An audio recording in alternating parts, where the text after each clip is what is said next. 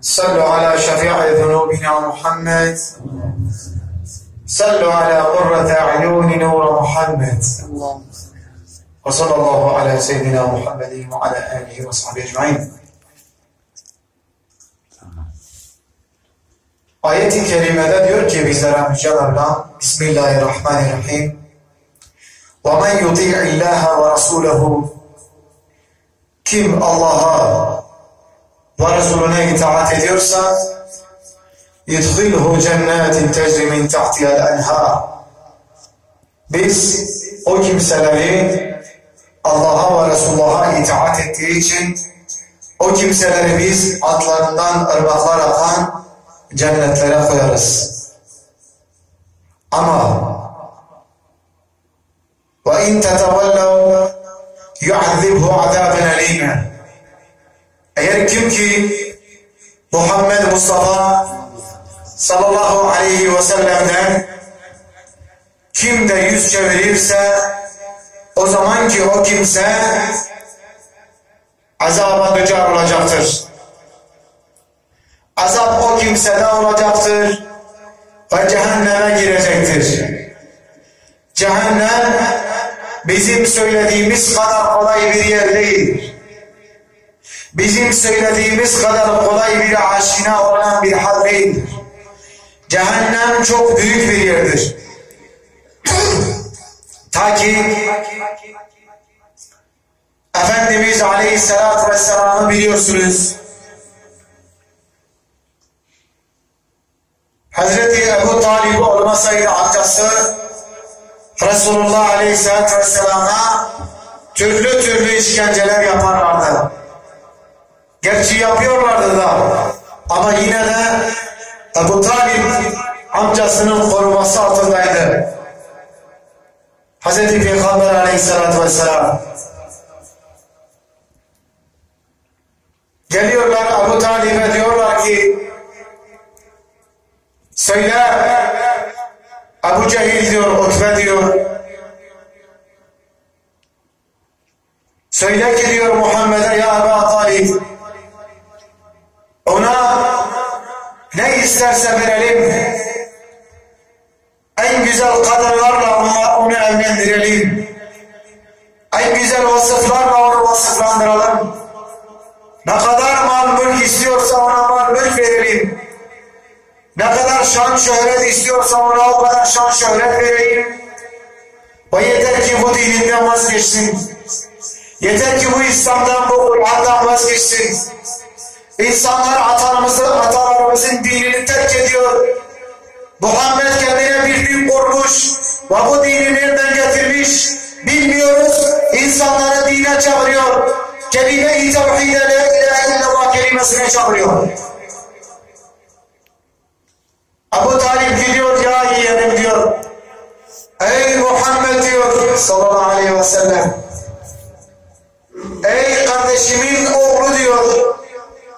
Vallahi vazgeç diyor. Senin bu yaptıklarını bu soysuzlar diyor burada bırakmazlar. Seni bırakmazlar ki sen burada İslam'ı yayasın. Kur'an'ı anlatasın. Allah'ı anlatasın. Allah'ın her şeyin hükmü olduğunu anlatasın. Allah'ın kuvvetinde olduğunu anlatasın diye sana fırsat vermezler. Hz. Peygamber aleyhissalatü vesselam diyor ki Ey amca vallahi ve billahi. Güneşi sağ elime verseler ayı sol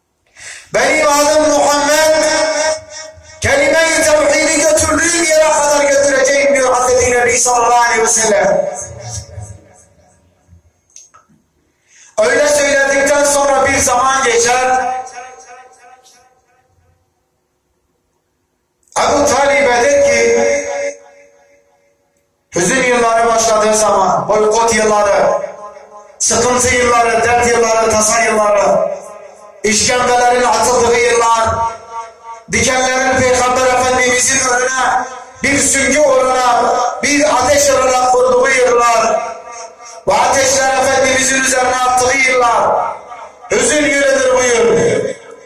Ama nasıl bir hüzün bir yeridir biliyor musun? Hem Hatice ölmüş, hem de Ebu Talib ölmüş. Efendimiz nereye gideceğini bilmiyor. Hazreti Hatice ona destek olan bu dini İslam'ın kendisine kuvvet veren maddiyatıyla Efendimiz'i yükselten şanıyla şöhretiyle Efendimizin şanına şöhretine şöhret katan Efendimiz'i Hira dağından geldiği zaman korktuğu zaman Efendimiz Hazreti Hatice'nin kucağına sarıldı Hatice? Zembeluni ya Hatice beni ört dedi Hatice. Sevgiyle baktığı Hatice. Yedi tane evladının anası Hatice. Ölmüştür Hatice'tül Kubra radıyallahu Efendimiz hüzün yeri yaşıyor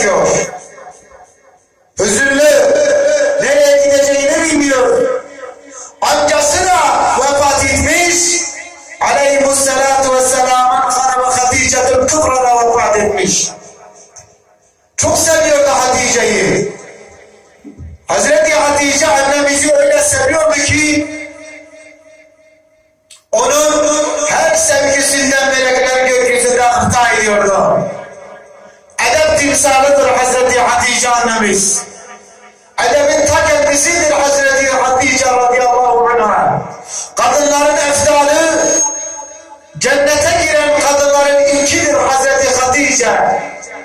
Ve bütün hanımların annesidir. Ve bütün kadınlara Hazreti Hatice cennetten onlara rehber olacaktır Hazreti Hatice annemiz. Habibi Zişan onun vefatıyla çok çileler çeker, çok dertler çeker, çok tasalar çeker, çok güçlük çeker İslam dinini Mekke'de yaymaya artık. Nasıl yayacağını bilmiyor, nasıl yapacağını bilmiyor. Yanına Ebu Zer alıyor. Ebu Zer el Paşa. Yanına Zeyd bin Harise'yi alıyor evlatlığını. Kendisine evlat olan Zeyd bin Harise'yi alıyor. Ve aleyhimussalatu vesselam Taif'e doğru gidiyor. Taif, bedbah ve kendini bilmez soysuzların yeridir. Taif, Efendimiz'i vuran, Efendimiz'in üzerinde kanlar akıtan bir yerdir Taif. Öyle sıkıntılı ve dertli casa yaşadı ki, hatta Hazreti Hatice, Hazreti Ayşe diyor ki, Vallahi ya Resulallah, sen Taif'te çektiğini hiçbir yerde çekmedin. Aleyhisselatü vesselam. Taif'e gidiyorlar. Yolda giderken kabile kabile uğruyorlar. Hüzaz oğullarına uğruyorlar. Girişinde Taif'i İslam'ı davet ediyorlar. İslam'a almıyorlar. Ve Mekke halkı biliyor ki Resulullah çıktı. Onlar da kendine yol ediliyor. Bir daha Muhammed'i bu yola, bu Mekke'ye koymayacağız diyorlar. Hangimiz evimizden atıldı? Hangimiz evimizden kovulduk? Hangimiz kovulduk evimizden? Memleketimizden kovan biri var mı bizi? Ama peygamberi memleketinden kovdular. Evinden uzaklaştırdılar, kovdular. Aleyhimussalatu vesselam. Gitti Hüzaz okullarına İslam dinini tebliğ etmeye. Onlar bu dini, bu dini İslam'ı kabul etmediler. Efendimiz'i dışladılar, laf söylediler, kötü kelimeler söylediler Resulullah Aleyhisselatü Vesselam'a. Gitti Asus okullarına. Oraya da gidince Efendimiz'e öyle kelimeler ettiler ki, öyle kelimeler ettiler ki, Zeyd bin Harise dedi ya Resulallah, gel beni dinlersen burada çıkalım, nasibimiz bu Taif'te yoktur. Ve sonra kendini bilmez bir kabilenin yanına gitti.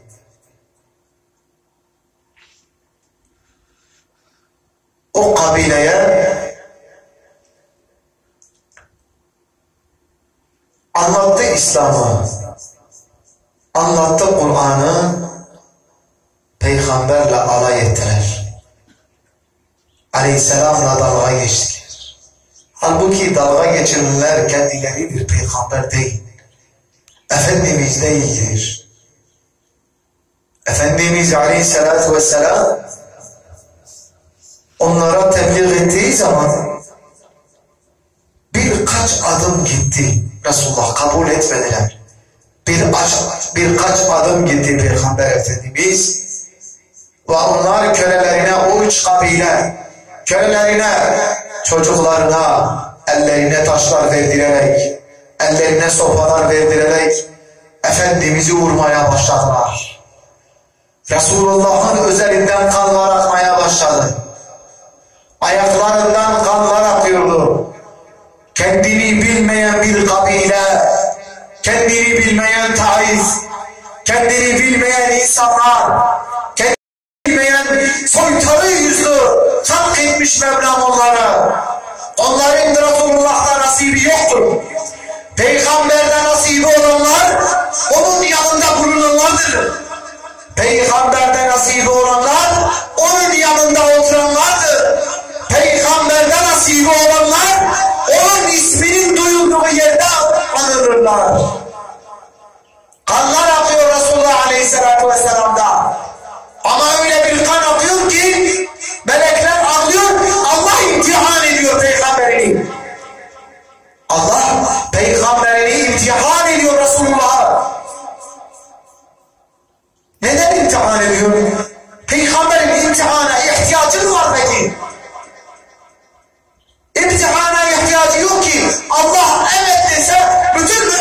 Hepsini İslam'a getirecek. Kur'an'a getirecek. Ama peygamberini imtihan ediyor. Neden? Peygamberini hazırlıyor miraca. Taif'ten sonra miraca hazırlıyor. Hazırlanmadan kimse Yüce Mevla'ya çıkamaz. Hazırlanmadan kimse Mevla'yı göremez. Hazırlanmadan kimse Mevla'nın huzuruna varamaz. Hazırlanmadan insan kendini kaybedip Allah'ın huzurunda oturamaz. Oturmak gerekiyorsa bedel vermek ister, can vermek ister, vücut vermek ister, ruh vermek ister. İnsan kendi üzerinde bir bedel buz vermesi gerekir. Vermeden bedel Allah'a ulaşılmaz. Kimi Muhammed de olsa diyor Allah. İmtihan ediyor da Yüce Mevla. İşte Yüce Mevla Aleyhisselatü Vesselam'a böyle imtihan ediyor. Kanlar akıyor.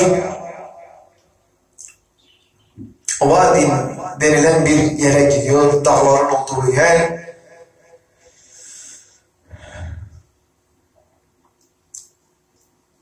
Orada tarla vardır. O tarladan geçerken Ötbe ve Şeybe'nin tarlası vardır. Ötbe ve Şeybe onları doldurmuş, Efendimizin üzerine salmıştır. Efendimiz Zeyd bin Harise ile beraber orada otururken Addas gelir, Addas. Addas bir köledir. Utbe ve Şeybe'nin bir kölesi. Allah merhamet verdi Utbe ve Şeybe'ye. Onların eliyle Addas'ın imanına sebep olmaya. İmanına sebep olmaya. Addas da Hristiyandır. Sonra Yüce Mevla takdir ve takdir ediyor. Lütuf ve rahmet ediyor. Addas gidiyor oraya. Peygamber Efendimiz'i görünce mübarek bacaklarından kanlar akıyor. Mübarek ayaklarından kan yere düşüyor. Peki kurban olmaz mıyız? O düştüğü kana, o düşen kana, o düşen yere düşen vasıtaya kurban olmaz mıyız peki? Neden peki biz kurban olamıyoruz peygambere? Niçin? Kurban olmak gerekir değil mi? Kurban olmak lazımdır değil mi? Kurbanın vasfı İsmail'in İbrahim'e teslim olması gibi. Bizim de peygamberimize teslim olmamız gibi kurban. Kurban budur. Kurban olmamız gerekiyor. Ama edeple, erkanla, peygamberi anlayıp peygamberi bilmekle her şey olur. Atlas gidiyor elinde bir tabak, bir de üzül bir salkım üzül. Gidiyor Resulullah aleyhissalatü vesselamın yanına. Efendim diyor, sana neler yaptılar diyor. Diyor Allah yaptı. Tabi bundan önce elini açıyor, dualar ediyor. Elini açıp Yüce Mevla'ya dua ediyor. Adres geliyor bir tane hurma yiyor. Şu üzüm yiyor. Üzümü yemeden önce Efendimiz ne diyor biliyor musunuz? Bismillahirrahmanirrahim. Adres diyor ki sen bu kelimeyi nereden biliyorsun? Bu kadar bir kelimenin güzeli en güzeli olamaz. Bu kelime en güzel bir kelimedir. Sen bunu nerede biliyorsun? Diyor bu Rabbimin kelimesidir. Addas'a söylüyor Peygamber sallallahu aleyhi ve sellem. Sen diyor nerelisin diyor. Diyor ben Ninova, Ninovalıyım. Vay subhanallah diyor Efendimiz. Kardeşim Yunus bin Meta'nın memleketindesin. Efendimiz'e Addas diyor ki sen Yunus bin Meta'yı nerede tanıyorsun? Diyor Kur'an'da mevcuttur o benim kardeşimdir diyor. Öyle mi diyor? Evet. Diyor sen bildiğin için o zaman diyor sen mübarek bir insan olmalısın diyor. Diyor ben Allah'ın elçisiyim. Adım Muhammed. Onun gibi bir peygamberim diyor sallallahu aleyhi ve sellem. Öyle mi diyor? Evet diyor. O zaman bana kelime-i şehadet getirir misin? Tabii diyor. Kelime-i şehadet getiriyor. Peygamber Efendimiz'i kucaklıyor. Efendimizin üzerindeki kanları siliyor. O kanları da. Sevgiye bak. Bir anda Peygamber Efendimiz'e aşık oldu sevdi. Ama biz bir defa Peygamber Efendimiz'e gitsek ama nefsimiz bize izin vermez hiçbir şey. Hiçbir şey bu nefsimiz bize izin vermez. Peygamberi sevin. Gerçek sevin Resulullah'ı. Kalpten sevin Resulullah'ı. Kalbiyle bağlananların Resulullah yanındadır bunu unutmayın. Aki görürsün ya da görmezsin. Peygamber senin yanındadır kalple seni. Son olarak Medine'ye gittiklerinde Hazreti Ayşe Peygamber Efendimiz'e şöyle sorar. Ya Resulallah Uhud mu şiddetlidir yoksa Taif mi şiddetliydi? Diyor ki vallahi Taif'te çektiğim eziyeti hiçbir yerde çekmedim. Görüyor musunuz? Taif'te çektiğim eziyeti hiçbir yerde çekmedim. Taif. Çok berbat. Cahiliye. Her kafa var. Her şey var orada. Peygamberi kim anlar? Anlamazlar ki. İftiracılar var. Fasıklar var. Müşrikler var. Hristiyanlar var. Peygamberi anlatın. Orada peygamberi durdurmazlar. Hatta ondan önce Efendimiz Aleyhisselatü Vesselam Taif'ten çıktığı zaman Hira mağarasına çıkıyor. Zeyd bin Harise'yi Mekke'ye gönderiyor. Bakıyor ki laflar söyleniyor. Muhammed'i biz Mekke'ye koymayacağız diyor. Görebiliyor musunuz? Mekke'de doğmuş, Mekke'de büyümüş, emin olmuş ve Peygamberi Mekke'ye koymuyorlar. Haber gönderiyor herkese. Mekke'nin eşraflarına, büyüklerine Peygamber Aleyhisselatü Vesselam hiç kimseyi kabul etmiyor. Hiç kimse peygamberimizi kabul etmiyor. Ve sonra bir tanesine haber gönderiyor. Bu tip bir adiye haber gönderiyor. Diyor gel ya Muhammed ben seni koruma altına alırım. Bütün ashabıyla, etrafıyla, insanlarla birlikte silahlanır, silahlanıyorlar, atlara biniyorlar, Peygamber Efendimiz'i geliyor, Hira'dan alıyorlar. Mekke'nin içerisine koyuyorlar. Efendimiz Kabe'ye gidip Hacer ve Esved'in önünde duruyor. İki rekat namaz kılıyor. Düşünebiliyor musunuz Mekke'nin halkı Mekke'ye peygamberi koymuyor. Mekke'nin halkı Mekke'ye peygamberi koymuyor. Ve işte mesele bu. Sevmekle sevilmeyin arasındaki fark peygamberi anmakla, anmakla anlamak arasındaki hak demektir. Onun için bizler Peygamber aleyhissalatü vesselamın istikametinden ve siretinden Rabbim bizi mahrum etmesin. Rabbim istikametinde daim etsin. Rabbim Efendimiz aleyhissalatü vesselamın yoluna bizleri gerçekten irtica eylesin. Rabbim bizleri Efendimiz aleyhissalatü vesselamın vasıtasında ve Efendimiz aleyhissalatü vesselama gidecek ve ne yollar varsa, ne vasıtalar varsa Mevlam bizlere hayırlısıyla feth eylesin ya Rabbi. Mevlam feth etsin ki biz Efendimiz aleyhissalatü vesselama gidelim ya Rabbil alemin. Rabbim duyansın, işitensin, biz halkız. Rabbim biz bedbahız. Rabbim biz günahkarız. Rabbim günahla haşr neşr olanlardanız. Rabbim gıybet ederiz, dedikodu ederiz. Rabbim biz İslamiyet'i gerçekten bilmiyorsak da Mevlam sen İslamiyet'i bizlere öğret Mevlam. Rabbim İslamiyet'i Kur'an'ı bilmiyorsak da Mevlam Efendimiz Aleyhisselatü Vesselam'ı hakiki bir şekilde bilmiyorsak da Ya Rabbi Efendimiz'i bize öğretmeyi ihsan eyle Mevlam. Amin. Ve ala alihi ve sahbihi ecma'in. والحمد لله رب العالمين الفاتحة